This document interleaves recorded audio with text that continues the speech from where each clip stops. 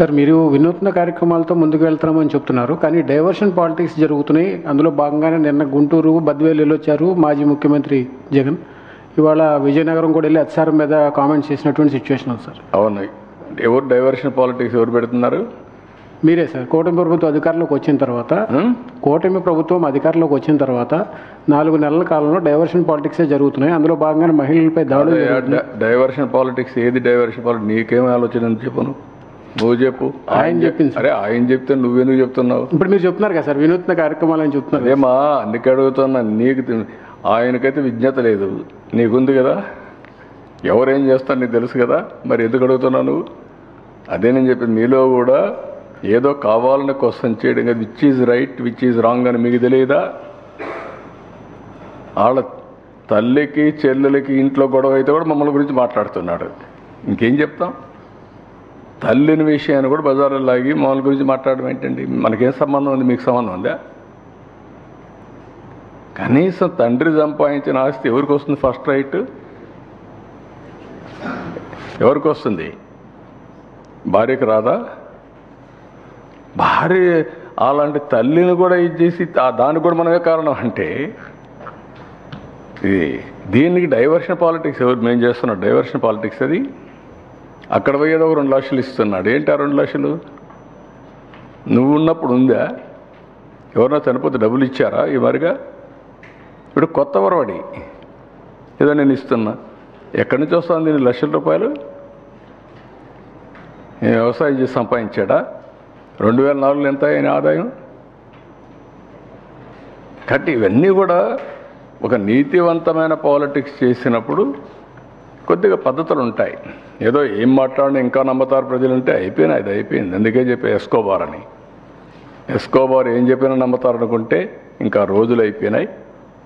We're very clear we're committed to our policies మేము చెప్పినట్టన్ని చేస్తున్నాం. మళ్ళీ రేపు ముప్పై ఒకటో తారీఖున సిలిండర్లు ఇస్తున్న దీపం నేనే పెట్టా. ఇప్పుడు కాదు తొంభై ఏడు తొంభై ఎనిమిదిలో ఫస్ట్ టైం దేశంలో సాధారణమైన మహిళలకి గ్యాస్ కనెక్షన్లు ఇవ్వాలని డిసైడ్ చేసిన తెలుగుదేశం ప్రభుత్వం ఆ రోజు. అవి ఈరోజు మళ్ళీ ఉచితంగా ఇచ్చే పరిస్థితికి వచ్చాం మూడు సిలిండర్లు. ఓసారి దీపం ఉచితం. దీపం పెట్టిన తెలుగుదేశం ఇప్పుడు ఉచితంగా వెలిగిస్తున్నాం. That is the difference we're working సిస్టమేటిక్గా ఈరోజు ఐదేళ్ళుగా ఒక్క ప్రాజెక్ట్ చెప్పండి. అమరావతికి డబ్బులు ఇస్తామంటే వద్దన్నారా లేదా మీరు? పోలవరం పూర్తి చేశారా మీరు? ఇప్పుడు రైలు ఎక్కిచ్చాం కదా. మళ్ళీ రీడూ చేస్తున్నాం కదా డయాఫామ్ వాల్. సిగ్గుంటే మళ్ళీ మాట్లాడతారు ఎవరైనా ఇలాంటి వాళ్ళ రాజకీయాలు అవసరం మనకు. నాలుగు వందల అరవై కోట్ల రూపాయలతో పూర్తి చేసిన డయాఫామ్ వాల్ కాపాడకుండా విధ్వంసం చేస్తే తొమ్మిది వందల తొంభై కోట్లతో మళ్ళా ఆ పని ప్రారంభించాము ఇప్పుడు. దానికి వన్ అండ్ హాఫ్ ఇయర్ ఎవరు కారణం అండి that is where democracy is paying price ఇలాంటి వ్యక్తులకు ఓట్లేస్తే బాధ్యత లేకుండా. నేను కొట్టలేనా? ప్రజావేదిక కూల్చారు కదా? ఇప్పుడు నేను చేయలేను అలాంటి పనులు? అదే రెస్పాన్సిబిలిటీ రాజకీయాల్లో వీళ్ళొచ్చి నిన్నొచ్చి ఇష్టానుసారంగా చేసి ఇంకా మాట్లాడడం వీళ్ళు అర్హత ఉందా? వీళ్ళకి రాజకీయాలు ఉండడానికి? అలాంటి పార్టీ చెప్పుకోవడానికి అర్హత ఉందా? ఇదేనా డెమోక్రసీ? అమరావతిని ఎడారిగా చేస్తారా మీరు? శ్మశానంగా మారుస్తారా మీరు? యాభై ఐదు వేల ఎకరాల భూమి. దగ్గర దగ్గర ముప్పై మూడు వేల ఎకరాల భూమి ఒక్క పైసా తీసుకోకుండా రైతులు ఇస్తే వాళ్ళు ఇచ్చిన పాపానికి మీరు ఏం చేశారండి? వాళ్ళ బాత్రూముల పైన డ్రోన్స్ ఎగరేస్తారు ఆడవాళ్ళ పైన ఆడబిడ్డల పైన. ఎన్నేళ్ళు పోరాడారండి వాళ్ళు అమరావతిని కాపాడుకోవడానికి? తప్పుడు ప్రచారాలు చేసి తప్పుడు ఆలోచనలు చేసి పరదాలు కట్టుకొని ఇక్కడ తిరిగారు. ఇప్పుడు పరదాలు ఉన్నాయా? అమరావతికి రావాలంటే? మీరందరూ అడుగుతున్నా ఎప్పుడు అడిగావా నువ్వు అక్కడ? ఐదేళ్ళు? మాట్లాడే స్వేచ్ఛ ఉందా మీకు? That is beauty of democracy డెమోక్రసీని mockery చేశారు.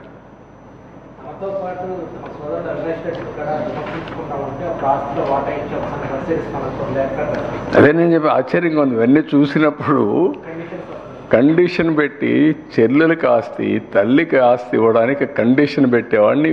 ప్రజలకు సేవ చేయడానికి ఎలాంటి కండిషన్లు పెడతారండి మీరు? కండిషనల్ పెడతారా మీరు? అంటే నువ్వు మాట్లాడకూడదు మాట్లాడకపోతే ఇస్తాను నువ్వు మాట్లాడావు కాబట్టి రిటర్న్ తీసుకుంటున్నానని చెప్పి ఎన్సీఎల్టీలో కేసు వేసేవాళ్ళు వీళ్ళు కావాలండి మనకు.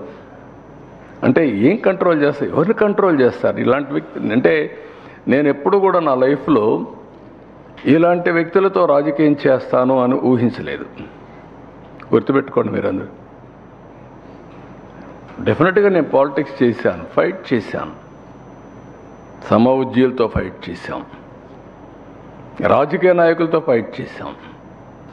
రాజకీయ పోరాటాలు సిద్ధాంతపరంగా చేశాం అభివృద్ధి పరంగా చేశాం నిలదీశాం. ఓసారి వాళ్ళు చెప్పినప్పుడు దాన్ని ఏ విధంగా మనం సమర్థించాలి కానీ లేకుంటే అధికారంలో ఉన్నప్పుడు సమర్థించడం కానీ దాంట్లో జస్టిఫికేషన్ చేయడం కానీ అపోజిషన్లో ఉన్న ప్రజల తరపున ఎప్పటికప్పుడు రాజీ లేని పోరాటాలు చేశాం. దాంట్లో తప్పులేదు ఇదేంటండి చిల్లర రాజకీయాలు? చిల్లర కూడా కాదు ఇది. ఏం రాజకీయాలు నాకైతే అర్థమే కావడం లేదు. ఇలాంటి వాళ్ళకి సమాధానాలు చెప్పడం కానీ ఇలాంటి వాళ్ళతో మాట్లాడడం కానీ ఇలాంటి వాళ్ళు రాజకీయాల్లో ఉన్నారని మనం గుర్తించడం కానీ మీ మీకు సిగ్గు లేదు సిగ్గు అనిపించదు కానీ నాకే సిగ్గు అనిపిస్తుంది. ఇలాంటి వాళ్ళతో రాజకీయం చేయడం. వాళ్ళకి సమాధానం చెప్పడానికి కూడా. చేసి పర్పస్ ఉండాలండి. కాబట్టి ఇంకా చాలా ఉన్నాయి. ఈ విషయాలు నేను మొన్న ఎన్నికల్లో చెప్పింది ఇవే చెప్పాం. ప్రజలకు నిరంతరం గుర్తు చేయాల్సిన బాధ్యత కూడా మా పైన ఉంది మీ పైన అందరిపైన ఉంది. గుర్తు చేసుకుంటూనే మళ్ళీ ఎక్కడికక్కడ అభివృద్ధి చేసుకుంటూ ముందుకు పోవాలి. ఇప్పటికే మీరు డిఫరెన్స్ ముందుకి ఇప్పుడు కనపడి ఉంటుంది. కనీసం ఐదేళ్ళు గుంతలు పెట్టేసి రోడ్లని చేస్తే ఇప్పుడు అవన్నీ గుంతలు పూడుస్తున్నాం.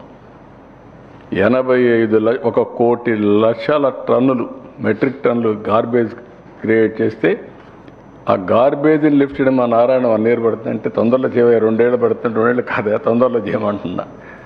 రెండేళ్ళు ఏంటి వాళ్ళకి సిగ్గు లేదు మనమైనా సరే దాన్ని ముంజేయాలి కనీసం ఆరు నెలలు ఎనిమిది నెలలు చేయమంటున్నా. వన్ ఇయర్ అంటున్నాడు ఇప్పుడు కూడా. నేను వన్ ఇయర్ నాకు యాక్సెప్టబుల్ కాదు. This are all problems. ఎవరన్నా ఉంటారా? ఒక లక్ష ఒక ఎనభై ఐదు లక్షల మెట్రిక్ టన్లు వారసత్వ గార్బేజ్. Legacy garbage. ఏ దేశం అనేది ఒప్పుకుంటారా ప్రజా ప్రజాస్వామ్య దేశం? నువ్వు క్వశ్చన్ అడిగావు. ఒప్పుకుంటారా? మీ ఇంట్లో చెత్తేసిన ఒప్పుకుంటావా? రాష్ట్రంలో చెత్తేసిన వాళ్ళు ఏమనాలా? వదిలిపెట్టాలనా? మళ్ళీ చెత్త మీద పన్నేసి చెత్త మీద పన్నేస్తే కట్టలేదని వాళ్ళ ఇంటి మీ వాళ్ళ ఇంటి ముందర వాళ్ళ షాపుల్లో చెత్త వేసిన వాళ్ళు వీళ్ళు. మళ్ళా తీసుకుని అక్కడ చెత్త వేశారు. ఎంత హెరాస్మెంట్స్ అంటే అవన్నీ తలుచుకుంటే ఒక ఇది రాదు మనుషులకి.